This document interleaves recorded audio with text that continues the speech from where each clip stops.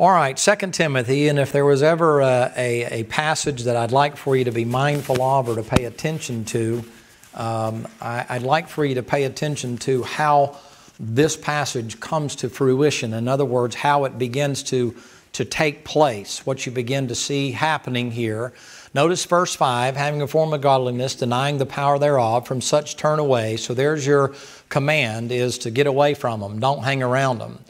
The reason for that is, is because they're so good at what they do and so convincing in their ways that he errs on the side of you need to stay away from them because otherwise you're going to wind up getting hoodooed by them. They're going to wind up ch- uh, causing you to uh, get messed up because they're so convincing. In the time of the tribulation, the Bible teaches that if the Lord didn't shorten the days, the very elect, that's the 144,000 male virgin Jews that have the sign of God in their forehead, that the, that the very elect would be deceived. The deception is so great by the Antichrist that you would think it Christ Himself. The deception of these teachers is so great that if you stay around them before long, they'll teach you wrong and false doctrine. So, what the Lord does to you is say that there's some things that you just should have nothing to do with.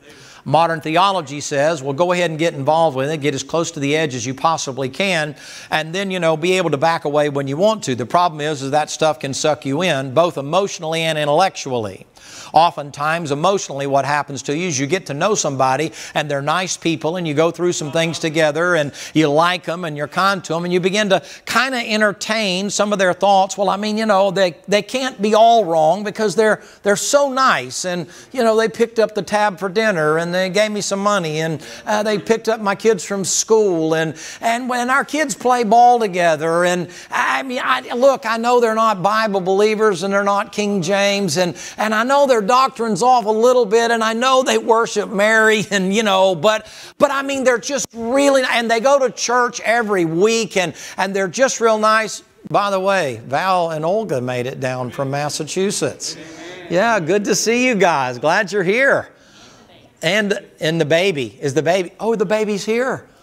Praise the Lord. Let's see the baby. Sorry. Come on, you can do better than that. Oh, there you go. How great is that? Good to see you guys. Interview tomorrow. Okay, good. Praise the Lord. We'll be praying for that. All right, so anyway, here's what can happen. The Lord knows we're emotional creatures, right? And the Lord knows that we tend to want, believe it or not, not everybody is an ogre and, and wants to be a recluse and be by themselves. He created us to have fellowship with Him. And so we like to have fellowship with other people. We like friends. That's what has called a company called Facebook to make billions of dollars based on friending people. It's human nature that they're making money off of because they know that everybody likes to be liked and we like to hang around with people that we like and, and they like us. Well, what happens to us oftentimes when it comes to biblical things is, is that the Bible goes the way of the American Indian. It passes off the scene because we like Joel Osteen and we like, well, maybe that's a stretch a little bit, but. But, but, but we like people and we stop considering the doctrinal issues or the differences. And then before long, you know what? You begin to understand, shall I say, alternate lifestyles because they're so nice, you know, and, and they're kind. And, and, you know, ladies, those guys, they kind of have a, a flair for the feminine side. And, and they're so creative and, and they're so good with colors. And, and, and it's like, well, I just have so much in common with them. And they just like to talk and, and they like to listen. And, and, and then before long, it's like, well, I know they shouldn't. But they're so nice right? And then the same thing begins to happen. Didn't mean to make you sick, Brother Mitch. then the same thing begins to happen, and what's very prevalent nowadays is you have two girls, Butch and Butchette. And they don't all look like brogans and overalls. And they're so nice. And, and they're so smart. And, and, and they don't, they're, they're not causing any trouble they're just a little alternate. They're just a little different. But I mean, after all, you know, you don't know how they were raised, and, you know, there's nothing really definitive about that. Do you understand where I'm going? I don't need to continue with that. But what begins to happen is, is that then what we have is this saying in the South blood is thicker than the Bible. In other words, it doesn't matter what the Bible says, it matters what the family says. It matters what the matriarch of the family says. It matters what, you know, granddaddy or grandmama says or Nana and Pawpaw says or the next thing you know, church begins to be a popularity contest as opposed to being a doctrinal safety zone where I'm able to come into a sanctuary and feel safe. Nobody is going to try to corrupt me in here. It becomes all about personalities. It becomes all about all of the things that makes us feel good and we recognize our differences and, and, and let's don't talk about our differences. Let's talk about what we have in common. I mean, after all, uh, the Roman Catholics do worship Mary and they do have a pope and they do believe in the sacraments and they do the stations of the cross and, and they do, you know, believe in infant baptism and purgatory and stuff. But they're so nice. And then the next thing you know, but the Bible says, and then you're like, you know what? You're talking about my friend. And the next thing you know, it's, I'm not going to church over there. That's hate speech. He's talking about my friend and he doesn't even know them. You don't think the devil knows that personalities matter? And then all of a sudden, what happens is, is we throw the Bible out the window when our relationship with Jesus Christ is gone, but our friendship with other people. Watch, here's the Bible. Friendship with the world is enmity with God.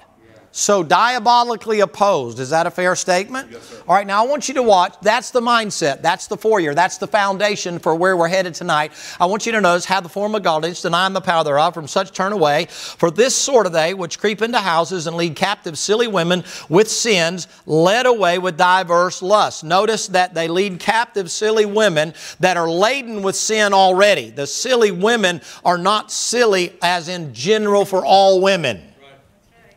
The silly women are the ones that are already laden in themselves with sin, which sets them up for being led captive.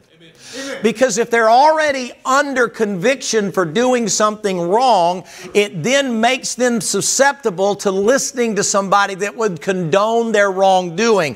One of the ways they're led captive is to say, that's really not that bad. They're already laden with sin. They're already gossiping or slandering. They're already doing things they shouldn't do. Are you with me?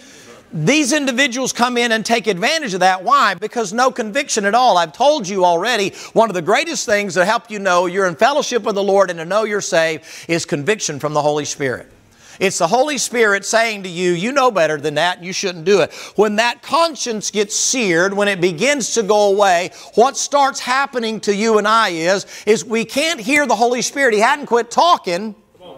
But our conscience, because we keep turning him off and turning him off and turning him off and turning him off, it's like a blister on your hand. If you've ever had a shovel or a hoe in your hand before, and you're out there working and working and you get a blister, and then after a while the blister comes off and then a callus forms, and then you wind up getting calluses. Your heart gets that way. The Holy Spirit is still there putting the friction in, but it can't get in there anymore. It doesn't get there. The light can't get in anymore.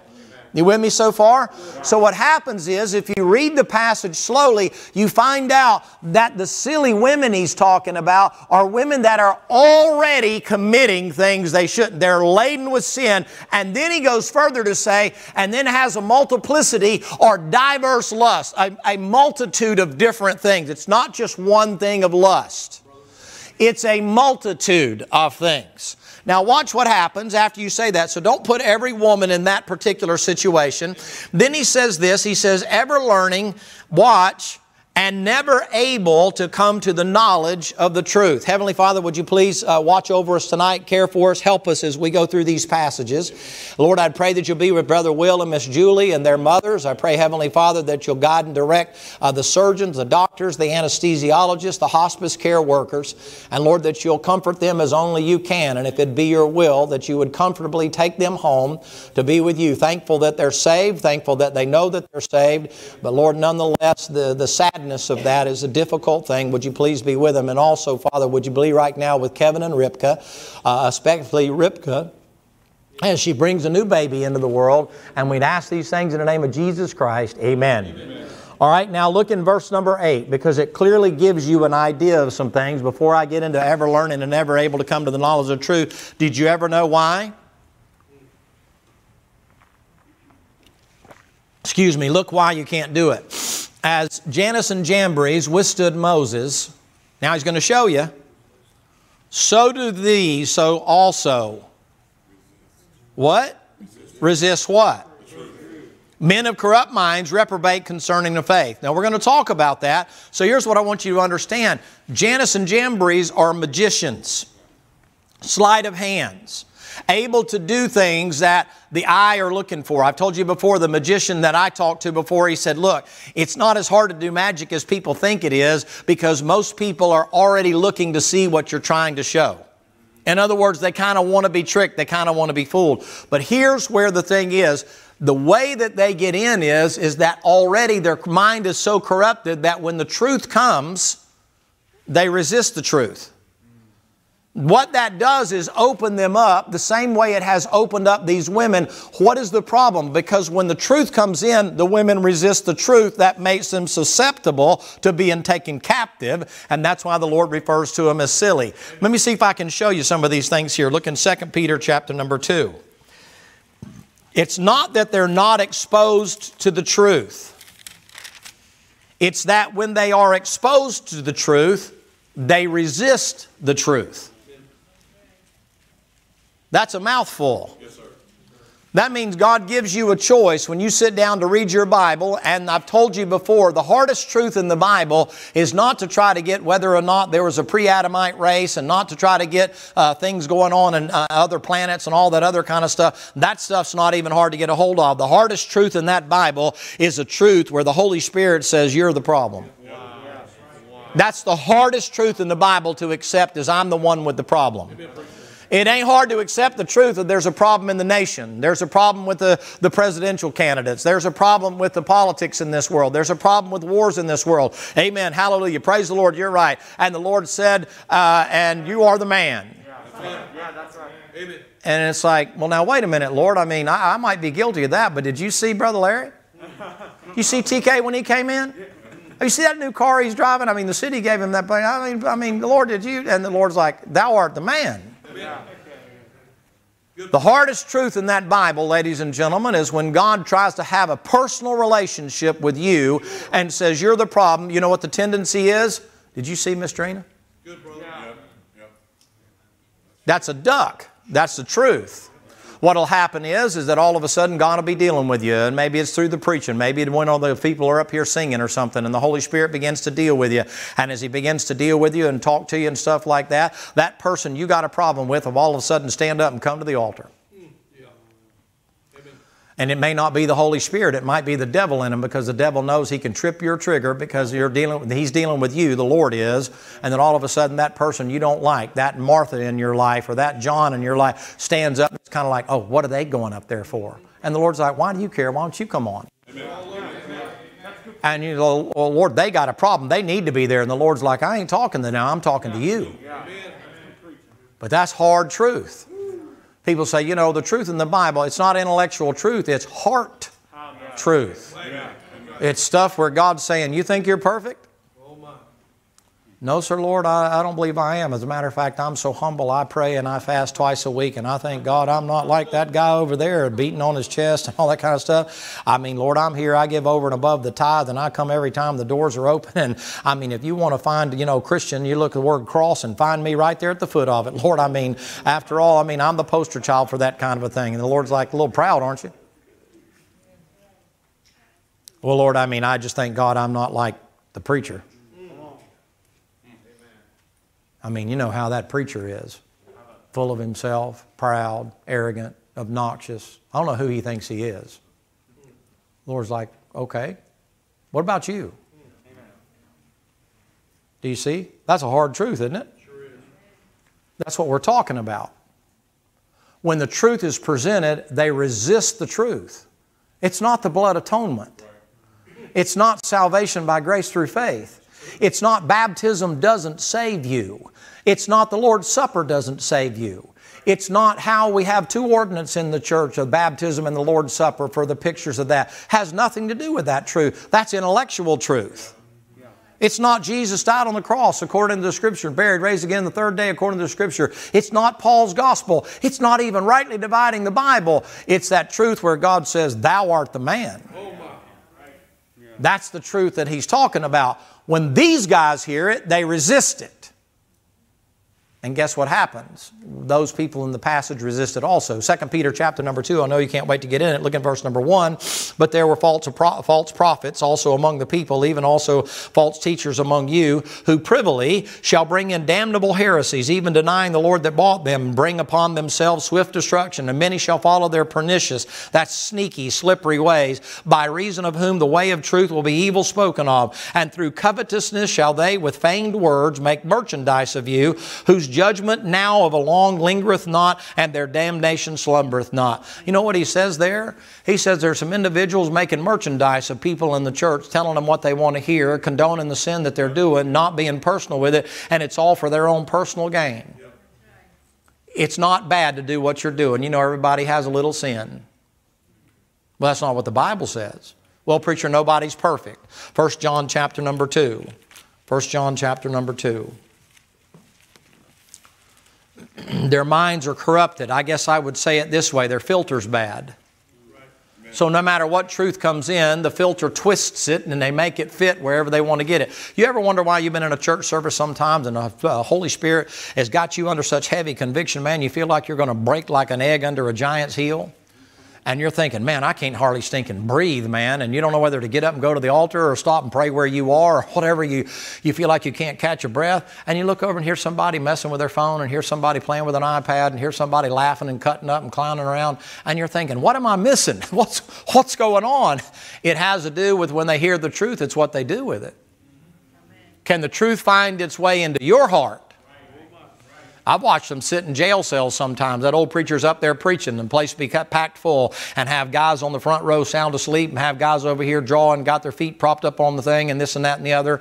And then you get to the end of that thing, and you're thinking nobody's listening, and then a half a dozen of them are down on their face crying like little babies and stuff like that because God's dealing with them individually. And you're thinking, well, what about all these other people? They heard the truth that they were going to hell, and they said, I don't care, it doesn't make no difference to me, and just literally turned it off and it's like BB's hitting a rubber tire, didn't even put a mark on it. I mean, they walked out of that service. These guys are under heavy conviction. Their palms are sweating, literally, and they're down there on the floor crying puddles of tears in front of all that stuff. You'd think that whole place would be under conviction. And guys walk out of there, you know, see you later, and telling dirty jokes and cussing and doing all kind of stuff like that. What is that? That's God dealing with you individually in this day and time. That's God putting a finger in your face and saying, You're the problem, not everybody else. Now, we all need that. But sometimes we don't like the vessel that it comes from. I guarantee you Balaam sure didn't like the fact that his donkey was talking to him. I mean, he didn't like it so bad he beat the tar out of him. And then finally the Lord said, Go ahead and tell him. And the donkey said, If you hit me one more time, I'm going to kick the fool out of you. that's in the, between the lines there in the original. That's in the original Hebrew somewhere. but, but you know what he says to him? He said, Hey, stupid, can't you see what's fixing to take your head off? You say, what was that donkey doing? He was preaching before he ever opened his mouth. You see how he was preaching? He wouldn't go where Balaam was trying to drive him. He said, I ain't going. You want to get your head cut off? Go ahead. I ain't going. He's preaching, but he ain't opening his mouth. That thing about truth is so, so the, the Bible teaches you in the beginning that Lord is that truth. Sanctify them with thy word is but what happens? You can't get sanctified unless you apply it yourself. Amen.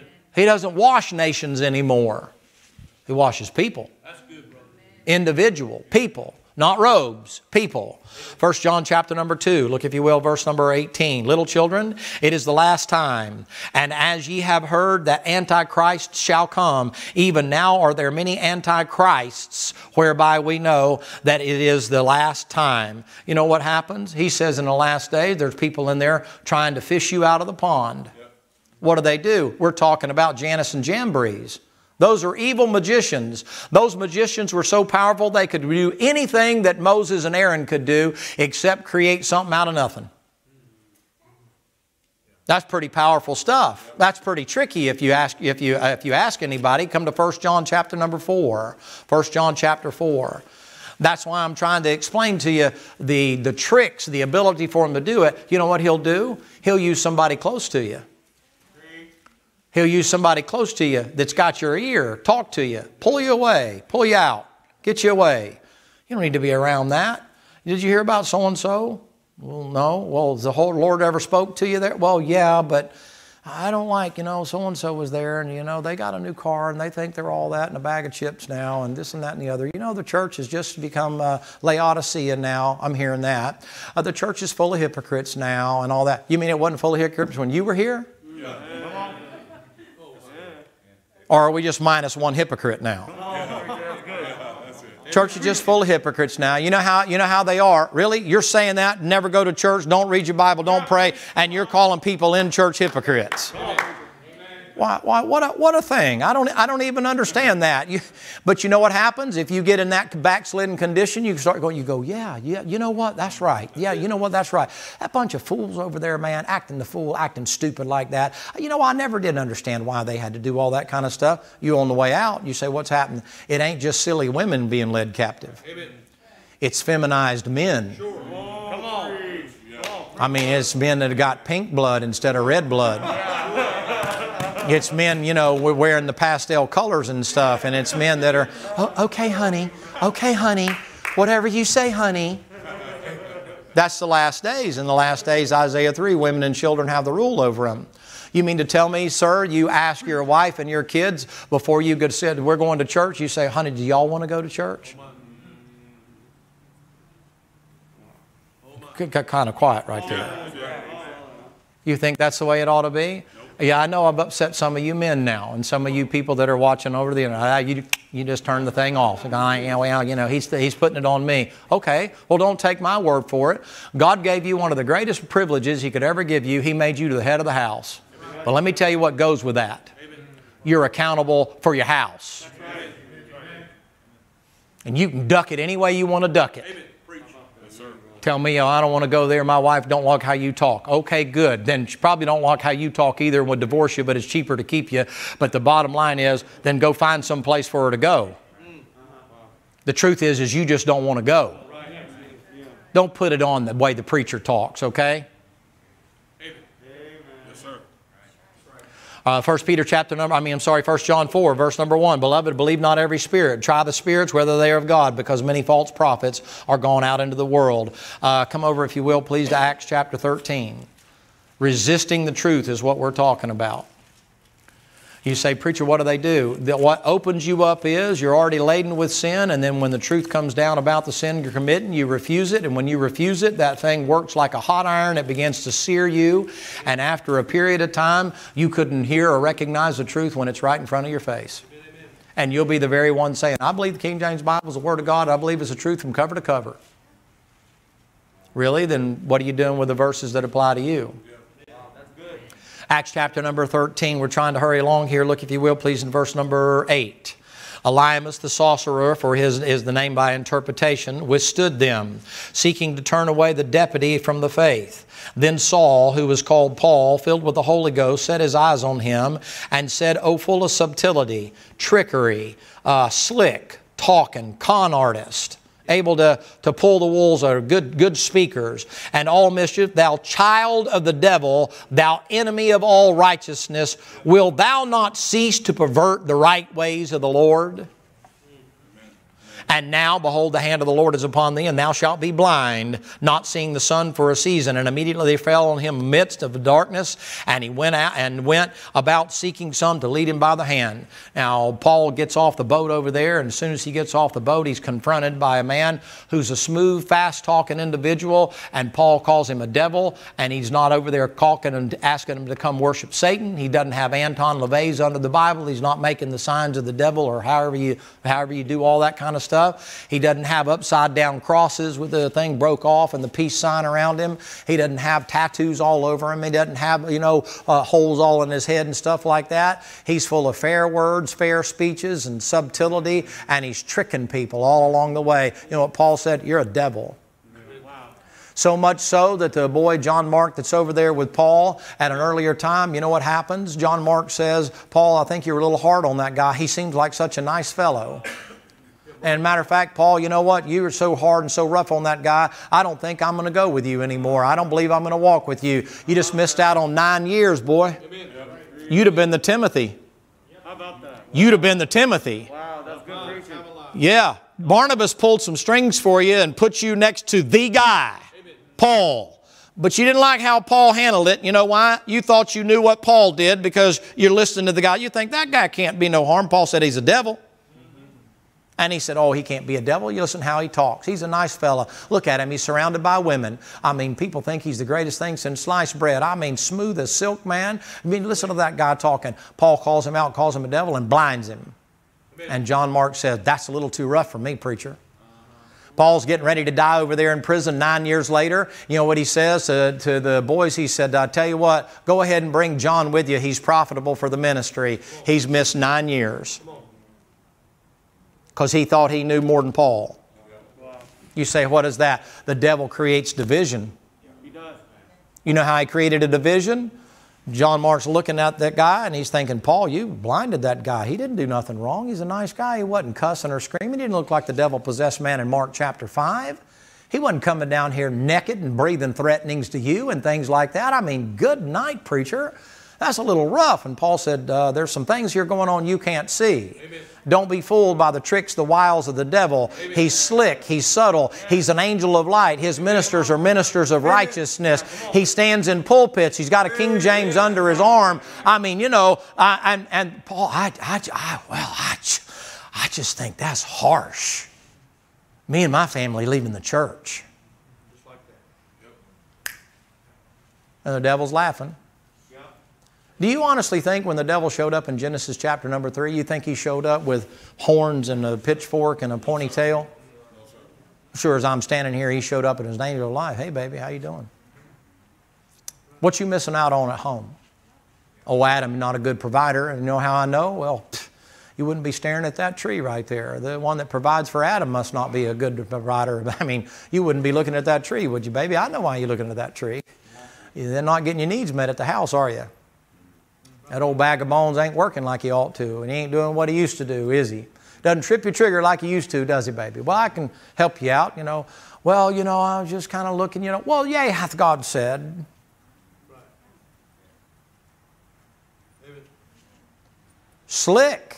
Amen. He appealed to her. I don't know about you. I've never had a run in with the devil himself, but I think, I think, I think if I saw him, I'd be like Martin Luther and throw an inkwell at him. I think it'd scare me to death. She's completely comfortable with him. She has a conversation with him, Preach. with the devil. Man, he must have put her right at ease. Must have been easy on the eyes, you reckon? Must have not been a must not have been a threat to her at all.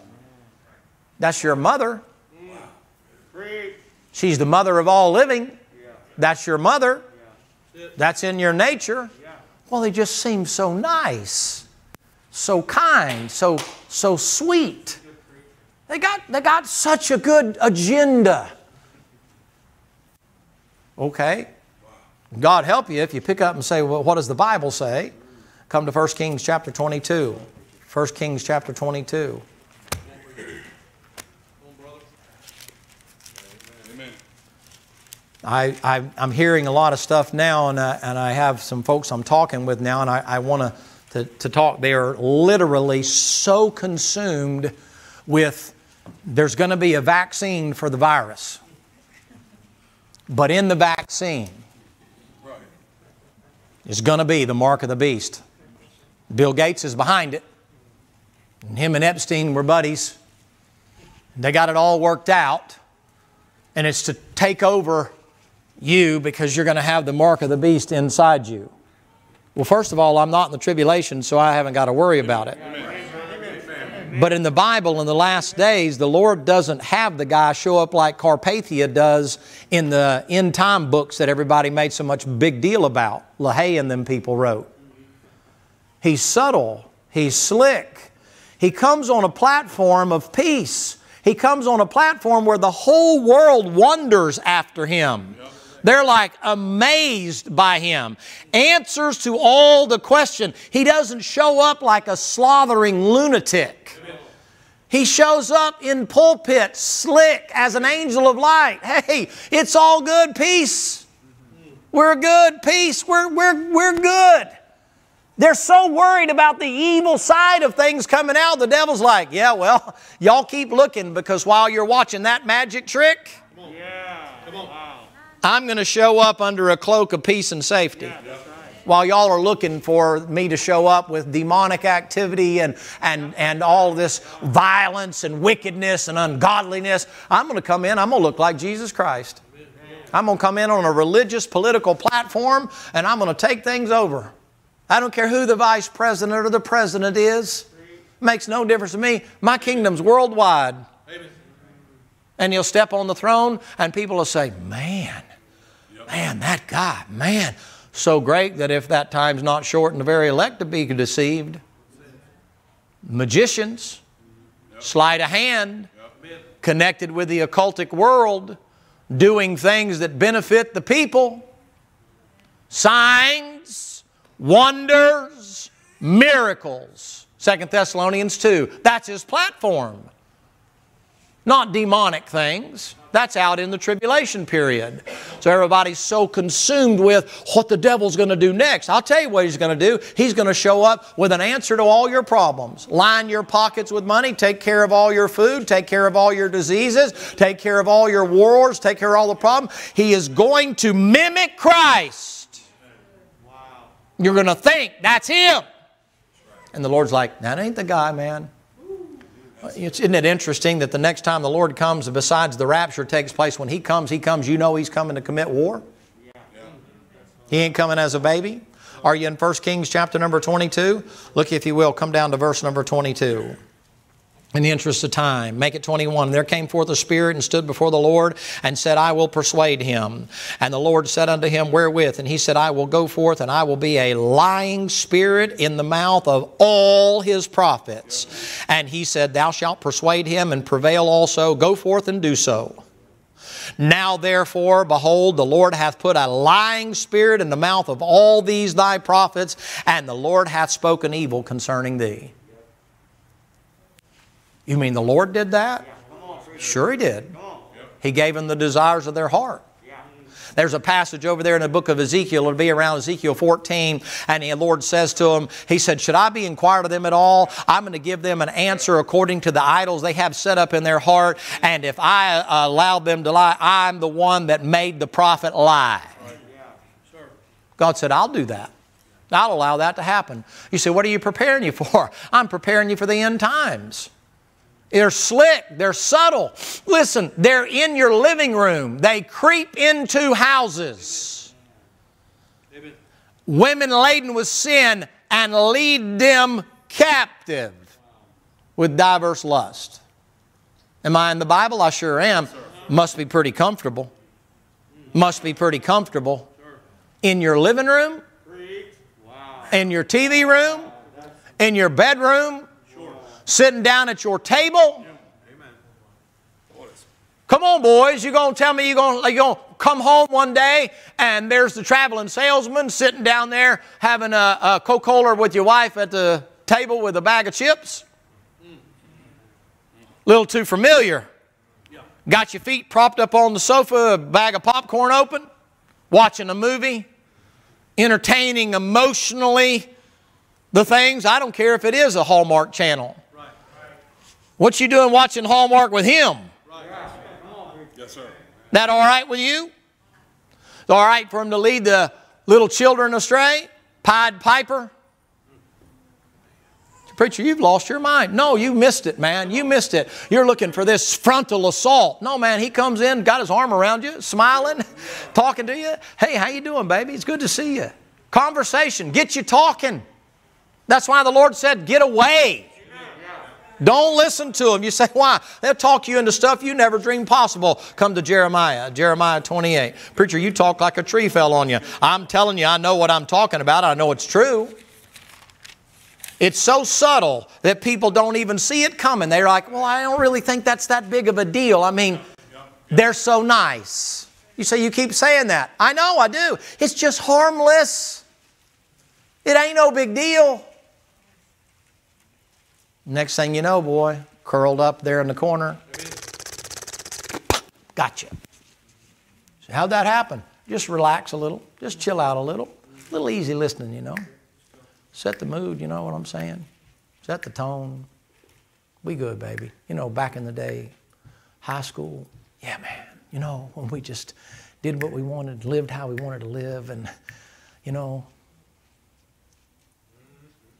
I mean, I just smoked a little dope, you know, just drank a little and just listened to a little music and just did, like, you know, but didn't hurt us that bad, baby.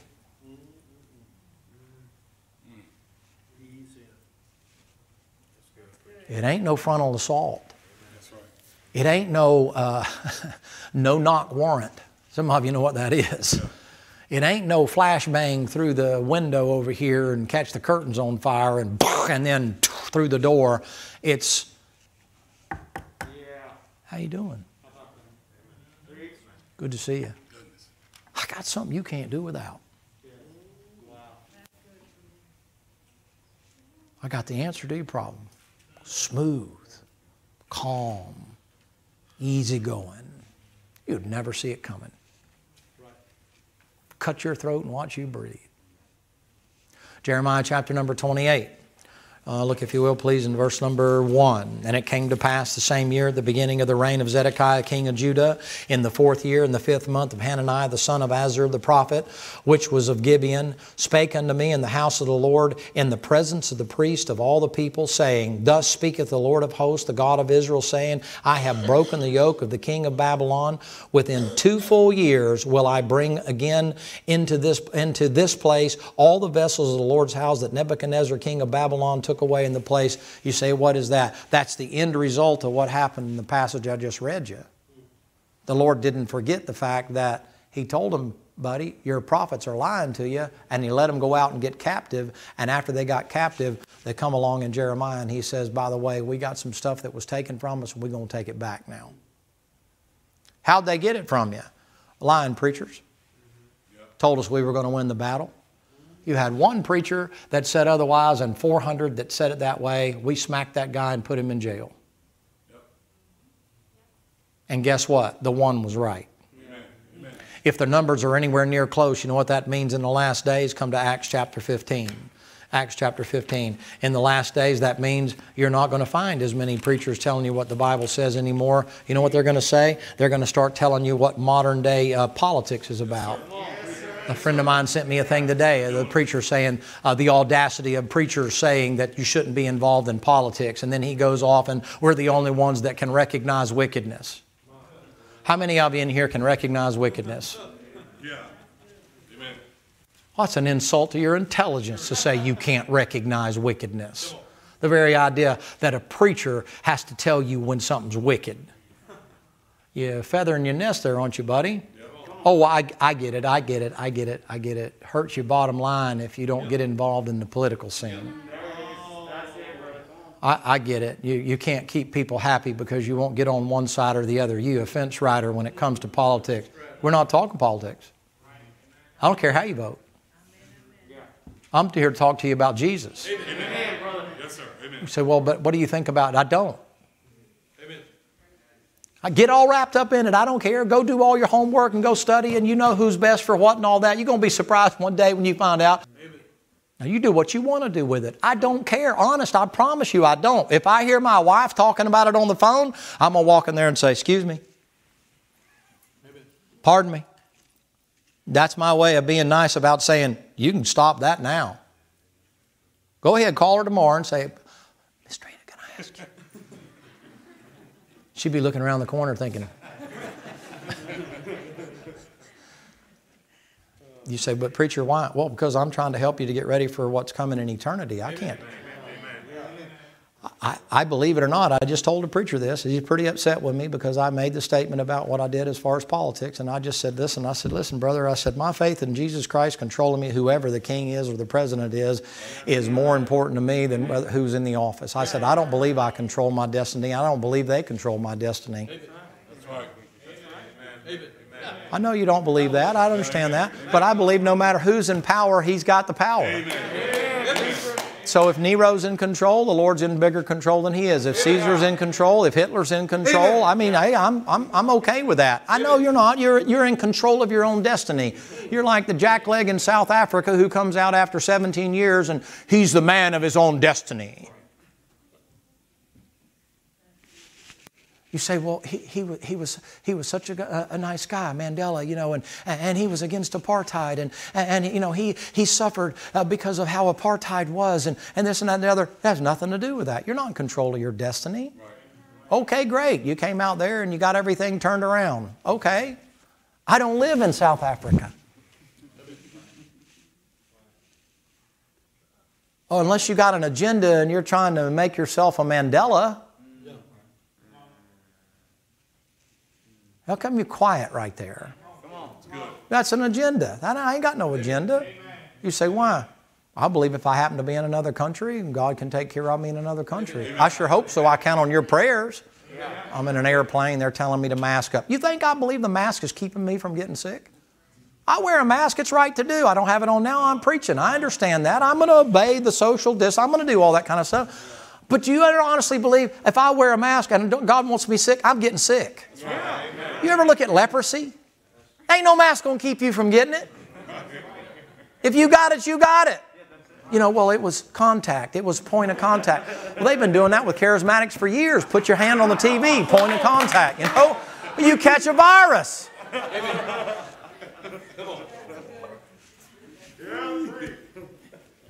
Acts chapter 15. Don't worry, I'm not going to get out the egg plate.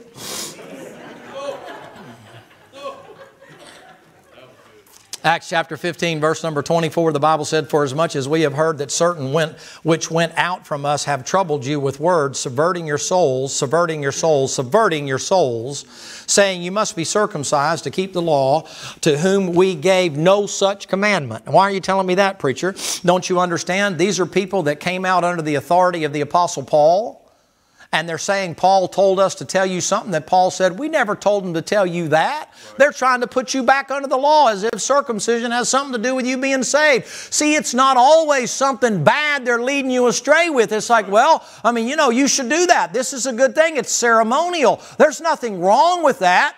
Paul's like, we didn't tell them to tell you that.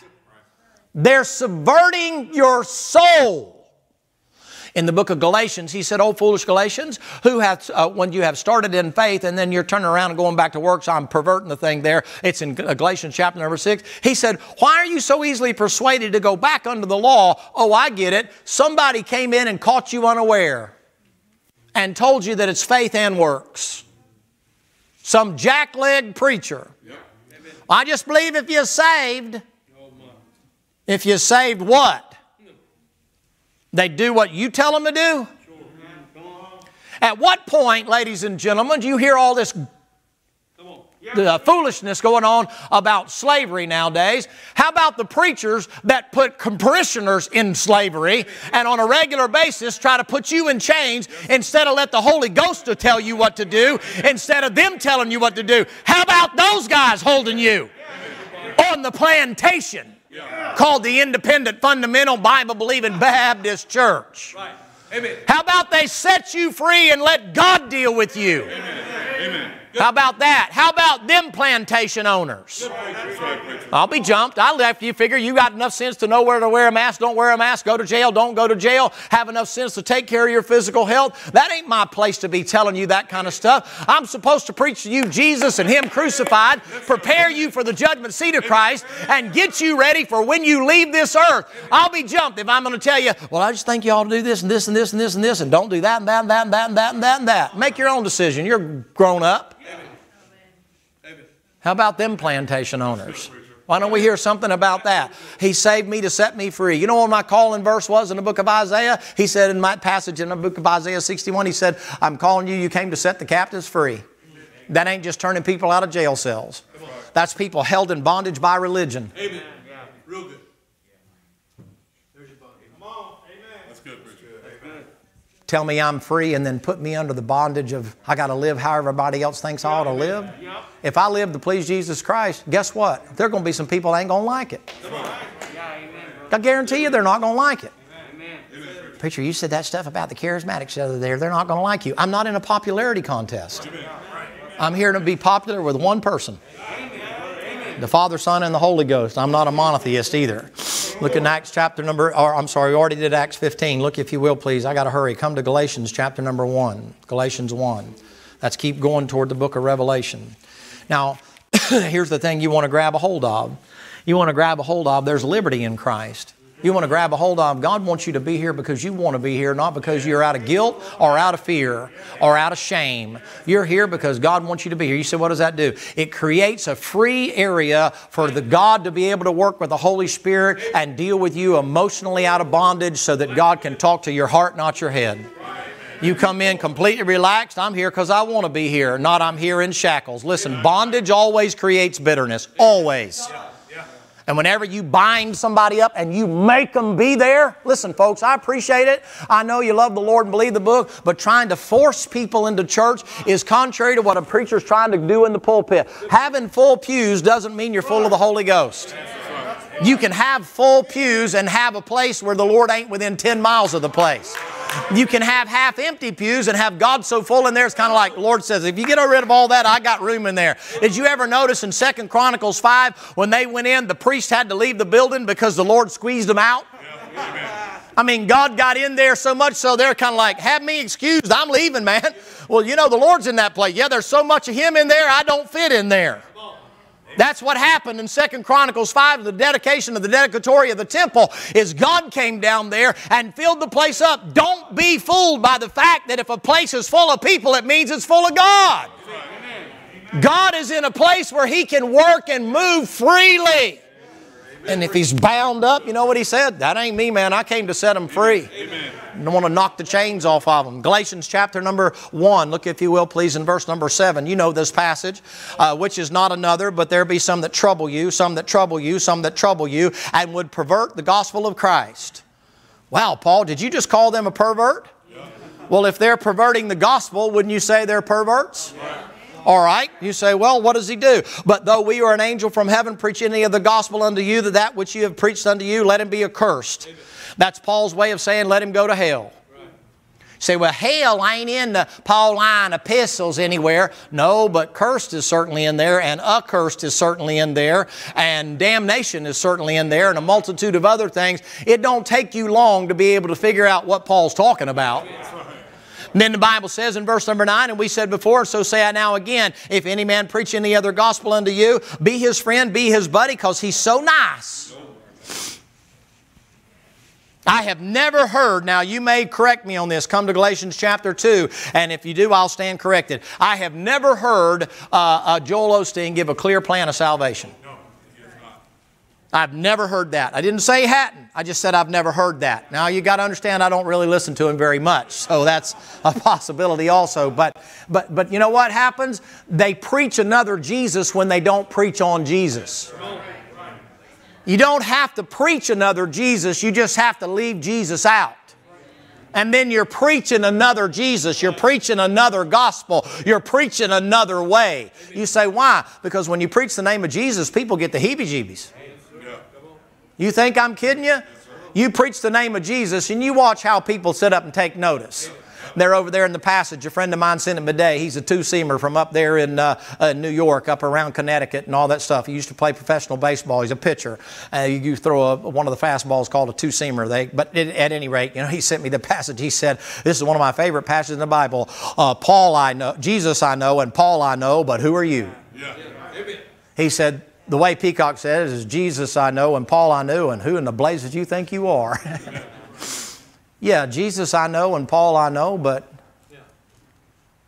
there ain't no preachers like that getting no headache from the devil because he's not causing any problem. He ain't stirring up nobody. He's not keeping anybody from heading there. So you know what happens? You get the opposition. You do. You. Not just me, you. You people. You say, why? You love the Lord, you believe the book, you preach Jesus. Amen. You mention Jesus, guess what happened? The devils believe and tremble. You can preach anything else you want to preach, it don't bother them at all. The name of Jesus. Wow. That's an attention getter. Listen, you know what he says? At the name of Jesus, every knee shall bow and every tongue shall confess that he is Lord to the glory of God the Father. Is that what he says? There's power in the name of Jesus. So the way to preach another Jesus is don't preach Jesus. All right, Galatians chapter number 2. Just a few more here. We doing okay?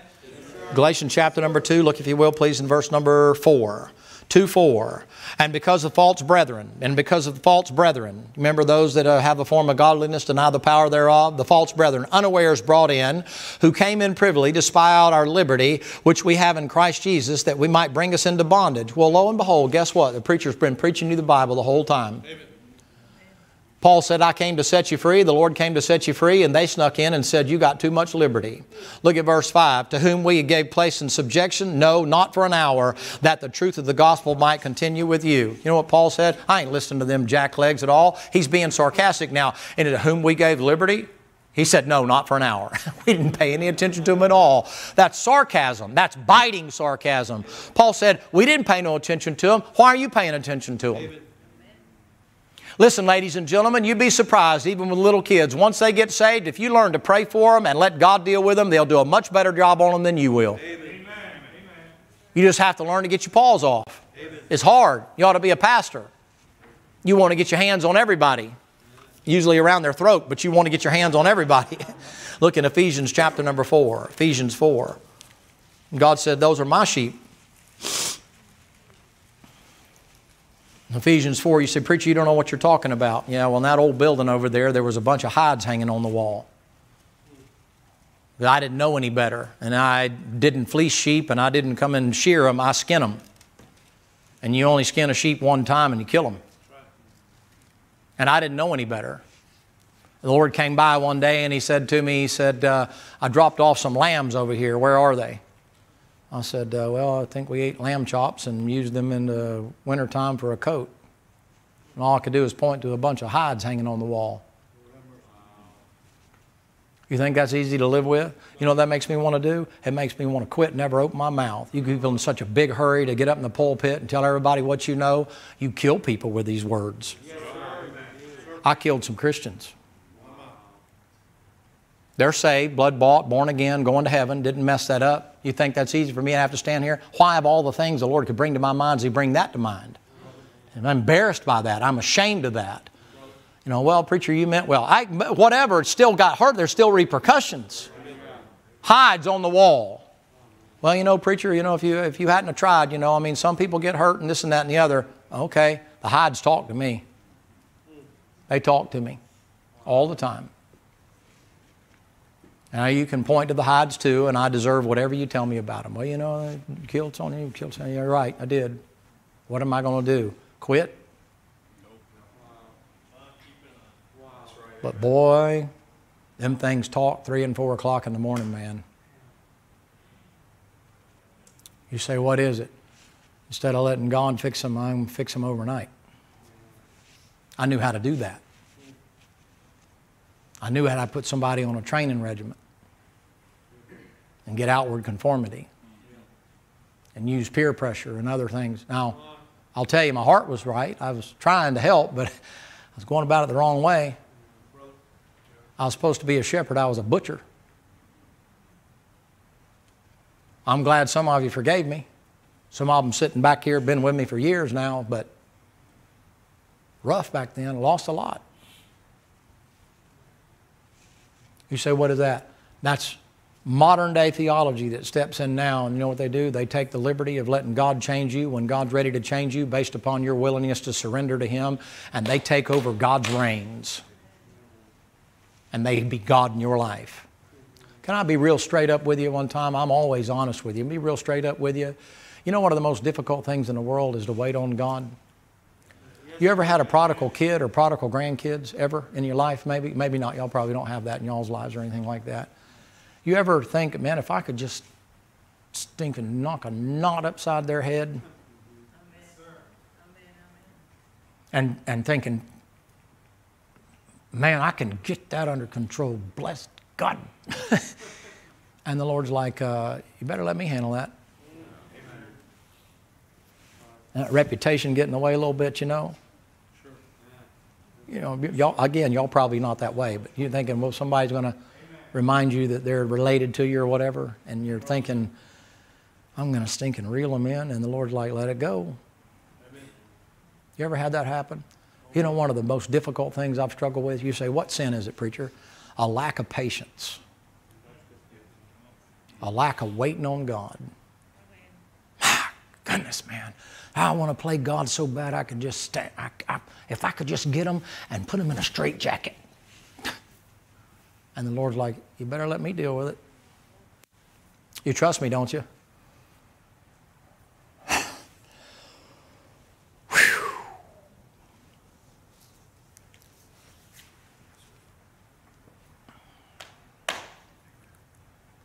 God said, You better let me take care of that boy. Boy, it's hard. But Lord, I know what's best for him. And the Lord's like, Oh, you do. really? You, you know what's best for him, do you? You don't think I do? You don't think I don't know where they are right this second? What they're doing right this minute?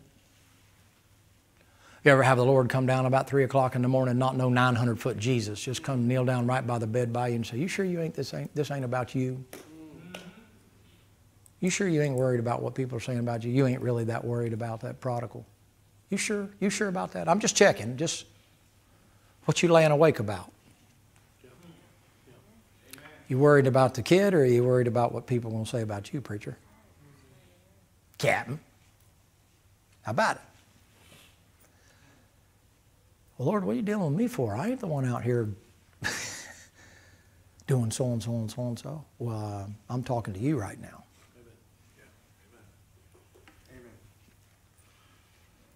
Can I give you just a couple more here? It's, we're past 8 o'clock. I'm hoping this is helping you a little bit. Ephesians 4, verse 14, the Bible says, Then that we henceforth be no more children, tossed to and fro and carried about with every wind of doctrine how? By the sleight of men and cunning craftiness, whereby they lie in wait to deceive. You know what he just said? Cunning craftiness. They're slick. They know how to talk. Some of the greatest preachers that I know of right now, two more, Second Thessalonians chapter 2, you'll be familiar with this. Some of the greatest preachers, when I say preachers, I mean good orators. They don't, they don't speak lies. They speak truth and they have such a way of spinning it that it's so pleasing to hear and so emotionally charging that you don't hear what's missing. You, you don't hear the elements that are there that need to be there that are missing. They're so good at entertaining you that you get auditory exclusion for truth. And you go out and emotionally you're floating this high off the ground, you're like, man, wow, that was so good. Holy Spirit convict you? What? what? You closer to the Lord, are you? You didn't get the part that was missing. You say, where would you get that? Well, in Genesis 3, he took some stuff out. In Matthew 4, he took some stuff out. So, what does he do? He oftentimes leaves the most important elements out, but he veils it in such a way that you think, man, that was good. And it's like eating a box of paprika. You got no substance at all, no meat. Second Thessalonians chapter number 2, look if you will please at verse number 9. Even him whose coming is after, uh, who, excuse me, whose coming is after the working of Satan with all power, signs, lying wonders, with all what? Deceivableness of unrighteousness in them that perish because they receive not. Uh oh, what? Where did we start? The love of what? How about that? That they might be saved. For this cause God shall send them strong delusion. Who sent them strong delusion? That they should believe a lie, that they should believe a lie, that they might all be damned. Who believed not there it is. Remember the passage? It said they resisted the truth. We'll look at what happens with the platform of the Antichrist. They resist the truth. Last one, Titus. Titus chapter 1. I'm, I'm telling you right now, not trying to be arrogant when I say what I'm about to say, I'm telling you how the Antichrist is going to come. And it's not with fireballs from heaven or wormwood splashing down and comets and asteroids blowing up and Shemitahs and blood moons and all that kind of stuff. I'm telling you, slick. He comes as a seducer. Last days, many will give heed to seducing spirits and doctrines of. That's the church that is being seduced by somebody that's that powerful. Now, do you understand why he says just get away from it? Yeah. Now, do you understand why he says just get away from it? Uh, look, I got a friend of mine, he, he monkeys around with snakes and stuff like that and all that. I don't like snakes. Big ones, little ones, live ones, dead ones. You know, it's got a round head, it's got a square head, it's got a, it's going to have a flat head if I get close enough to it with a shovel. Or a 12 gauge, it ain't going to have no head. Well, did you figure out, was it a good snake or a bad snake? It's a snake, it's a bad snake. You say what? If it don't hurt you, it'll make you hurt yourself. Now, look, I know you, you're like, you know, y'all are Rambo and stuff. You get them and put them in your teeth and all that kind of stuff. Some of you got Pentecostal roots or something about you. You know, you know, you're, you know, you're like, you know, not me. I ain't no Gene Dixon. I ain't messing around with no snakes. I, I, I've had my run ins with snakes and stuff like that, but I want to ask you a question. If you knew you went into a room and you saw a rattlesnake coiled up in the corner, would you tell your kid you can go on in the room, just don't go in the corner? Or would you say, stay out of there? Well, I want to get acquainted with the snake, Daddy. I just want to kind of get to know him. He, he looks really nice. He's clean. He doesn't look like he could hurt anybody. I mean, he's got a little tongue comes out every now and then, but I mean, what's he going to do? He's only got a couple little teeth in there. I mean, I mean, you know, and he, he's got a rattle like a baby rattle. How could that hurt anybody? You going to tell your kid go on in there? Well, you're a fool if you do. You're a fool. But you know what we say when it comes to what I'm preaching on right now? We'll go on in the room a little bit, it won't hurt you. You know what the Lord said? You better get away. You better get away. You better get away. Don't go in the room. You say, why? It won't be long before you'll get bit. What fellowship hath Christ with Belial, and what fellowship hath light with darkness? Wherefore come out from them and be ye separate, and touch not the unclean thing.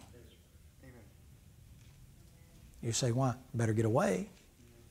Stand up there and contend with him. You can't contend with the angel of light. You'll be so confused you'll think it's the Lord. Watch, somebody dies. Where were you headed? I don't know, but I was going toward a great light. Nobody in the Bible is ever going toward a great light. I saw Satan fall as lightning. Satan, and no marvel, for Satan himself can appear as an angel of no testimony of salvation, no testimony of the blood of Jesus Christ. I died and I'm a Buddhist. I was headed toward a great light. Wouldn't have been a counterfeit, would it? Nobody in the Bible headed toward a light. Paul said, out from the body, present with the Lord. I'm just saying, see, the counterfeits are slick and going to get worse. Titus chapter 1, and we'll go home for tonight. Verse number 10, the Bible says this For many are unruly, vain talkers, deceivers. Now, watch, especially they of the circumcision. In other words, those that ought to know better. Watch, whose mouths must be stopped, who subvert whole houses teaching things that they ought not for filthy lucre's sake. Isn't that where we started? They creep into houses. You know what he just said? They must be stopped because they're teaching whole houses things that aren't true. All right, let's stand together and be dismissed. Thanks for bearing with me and helping me to get through that particular part here. We'll cover reprobate uh, concerning the faith and, uh, on uh, Sunday if you can bear with us and be here.